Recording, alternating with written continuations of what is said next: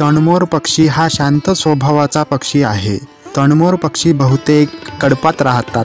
तणमोर पक्षाला इंग्रजीत lesser florican असे म्हणतात. तणमोर पक्षी प्रामुख्याने नाशिक महाराष्ट्र अहमदनगर आणि पश्चिम घाट या भारतीय प्रदेशात दिसतात.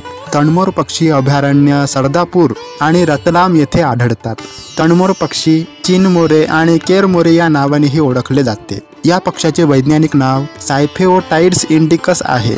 तणमोर पक्षाची उंची सुमारे पन्नास सेंटीमीटर आणि वजन सुमारे एक किलो ते दोन किलो पर्यंत असते. तणमोर पक्षी बहुतांशी आपल्या जोडीदारासोबत राहतो. मादी तणमोर पक्षी नर तणमोर पक्षापेक्षा मोठा असतो.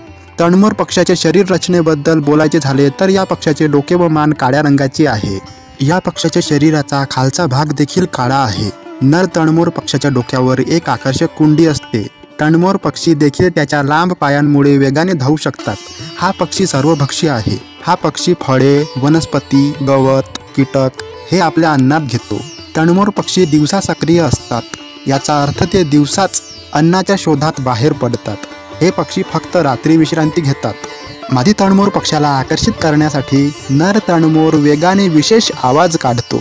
जुलै ते ऑक्टोबर हा काळ तणमोर पक्ष्यांचा विणीचा काळ असून गवताच्या रांजेत शेतातील रोपांमध्ये मादी घरटे तयार करते आणि त्यात हिरवट पिवळ्या रंगाची त्यावर तुटक तपकिरी रेषा असलेली तीन ते चार अंडी देते. पिलांचे संगोपन करण्याची जबाबदारी एकटी मादी घेते. तणमोर पक्षाचे आयुष्य सुमारे अकरा ते बारा वर्षे आहे.